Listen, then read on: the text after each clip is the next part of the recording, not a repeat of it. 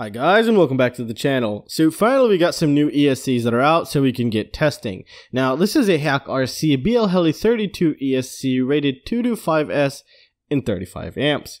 And uh, we are going to be noise testing it today and uh, I think you might want to stick around for this because um yeah, it was, it was yeah, we'll just we'll get into that right now. So this is like I mentioned, HAKRC is usually hit and miss products, and um, sometimes they do some good stuff, sometimes they just don't. It's pretty small compared to other 35 amp ESCs, as you can tell right here. So it will reduce some weight. The gauge, this it's running I think 16 or 18 gauge wire here. So yeah, it's running 18 gauge wire for the power, the ESC power, and everything here seems to be silicone, so that's very good. Or semi-silicone. These two are semi-silicone. Does it have telemetry? Yes, it does right there. So let's just remove this, take a quick look before we stick it on the bench, start testing. I know most of you want me to make my videos as fast as possible and to reduce time as much as possible. That's what I'm doing here. So we got four caps and we got five caps on the bottom. That's nine total capacitors. So it seems like it's good filtration. They're pretty mid mid mid sized caps here. So that's pretty nice to see. They got pretty small MOSFETs there. That's how they're able to reduce the size of this guy here. Um, so you know, don't put them with like some 2507 motors. Uh, I at least I wouldn't. I don't think you should do that really. I think you probably overheat these MOSFETs. But I'm not saying this is a bad one. I'm just saying like 25XX motors motors. So we do have a nice fat heatsink right there. So that's also very nice to see. And as we can see, the quality check has passed. Let's just remove this and take a look here. And um, yeah, let's see. We got the microcontroller units. We got some, oh, we got a nice tantalum capacitor right there. And um, overall, it has almost everything except the current sensor, uh, the shunt resistor. But if it performs good for such a good price, I don't see why not. And it's pretty tiny too. So enough talking and let's jump to the testing. Hi guys, and we are finished with the testing and what I want to tell you is I think we just found the all new best budget ESC. Now why would I say that? It looks exactly like the Emax formula noise testing on the bottom side. So before we begin, let's talk about what these pictures mean first of all. On the left side, we have the Emax formula. I'm going to compare other ESCs right now. Just give me a moment. And on the right side, we have the HAKRC BL Heli 32, this new one with the LED and all that kinds of good things, except the current sensor. But it's okay. I'll allow that to pass because it's a good price and it performed pretty damn good for a cheap ESC. And you'll see that right now. So, uh, the, this first graph right here uh, simulates this is 10% throttle noise, 25 50%, 75% throttle, and 100% throttle noise on all the graphs here. Bottom is a custom injected noise script to kind of make the motor do in, you know, just hardcore maneuvers to generate as much noise possible to push into the system so we get a nice idea of how it would perform in a real world scenario, even though I push it like maybe three times harder than it would be pushed inside the real in, in real life. So take that into consideration also, just so can give us a nice, you know, amplified result here. And uh, if ESC blows up, then it's not really worth it to buy if, if, it, if it blows up through one of these tests, just to let you know. Alright, so let's go ahead and take a look here. Now, as you can tell, it's already looking pretty damn good compared to the Emax formula on the throttle noise level. They're about the same, nothing too bad. But as you can tell, it's more, it's much cleaner. It sounded very smooth. I really heard it in the motor. It was very smooth. It, it, it sounded like it had a low ESR capacitor on board because motors could sound like absolutely it's like you put a silencer on a motor. It's, it's crazy. Some of you have heard this when you've switched from a crappy AC to Tekko32. I've had people write me that they know what I mean now. And someday, some of you might know. If you've always had good ESCs, then you'll never know how a shitty ESC sounds like anyways. Alright, so let's just take a look here. So this is a pretty cheap ESC. It's like 12 bucks, which is pretty insane. Now, you know, I was just going over the data. Check this out. The DALRC engine, okay? The DALRC 4-in-1 ESC engine, that expensive ass good 4-in-1 ESC. Now, uh, let's take a look at its throttle noise level. Look at that. That that that that's pretty good. This is the DALRC engine. Now now let me explain. Let me put something else into perspective here. This DALRC 4-in-1 ESC engine was using all of its capacitors, all of its filtration on one motor, which is you know you you kind of tell what where I'm going at with this. So this is this is very good. That's just one little sign right here.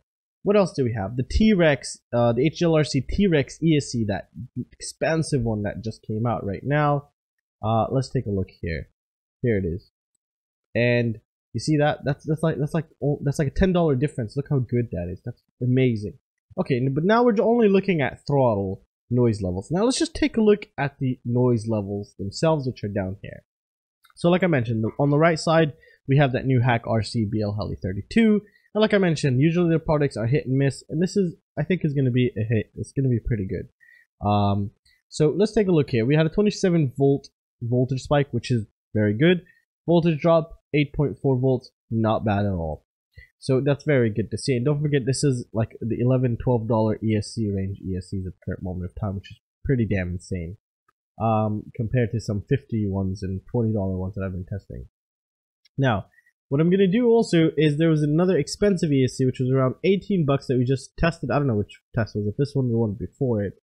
Uh, no, actually, I'm to keep that one because I'm not sure yet. But let's go ahead and take a look at the HGLRC custom noise compared to this.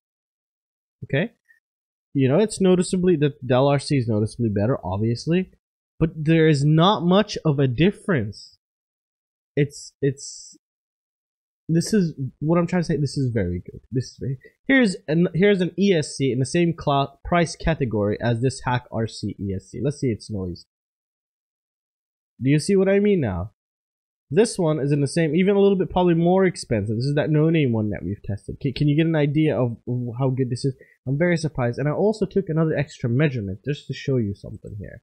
So check this out. I don't really do this much unless because I really wanted to see. As you can tell, these spikes it wasn't there. Uh, how can I say this? It's it's not. Um, it wasn't.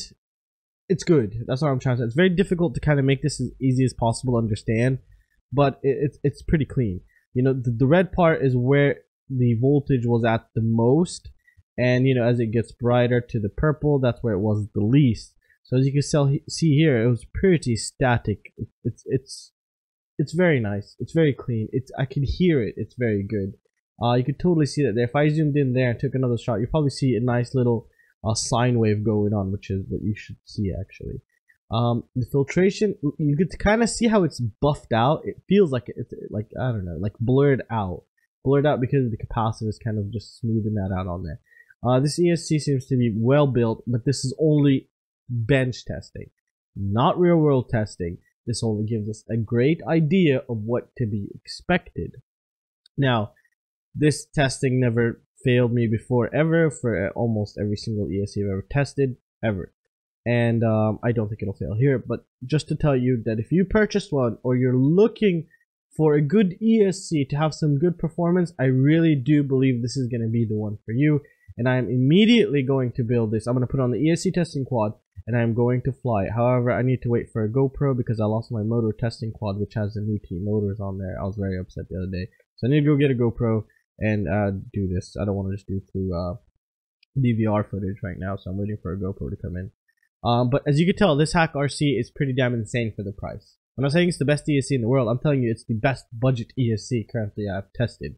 And uh, I'm very satisfied and pleased with it, and especially the motor sounded very smooth. Now imagine putting a low ESR capacitor, you get yourself a Tekko32. For what? What is it, like 10 cents, 20 cents cap on each? Just put like a little tiny 220 microfarad low ESR capacitor, maybe a Rubycon or a Panasonic on each of them.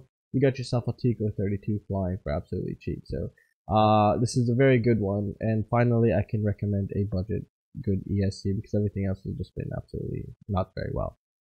And another important thing, if you don't have time to watch all the videos and if you don't remember and if you haven't seen all my ESC videos and you're curious what is the best components, they will be added. I'll have a special page in the application which I'll also release ESC testing even sometimes before I release the video.